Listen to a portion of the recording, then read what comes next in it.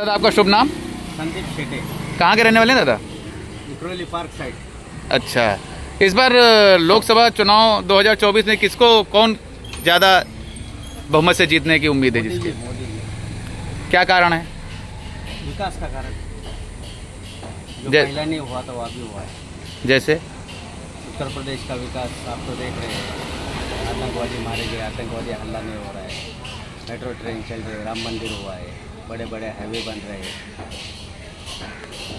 शेतकरी जो खेत वाले किसान हैं उनको पैसा मिल रहा है। सबका सुरक्षा का काम भी अच्छा हो रहा है। अभी हाल ही में राज ठाकरे ने भी बगैर शर्त समर्थन दिया है बीजेपी को। इस पर क्या कहना है आपका? हिंदू मुद्दे पे ठीक है। ठीक है। हिंदू मुद्दे पे।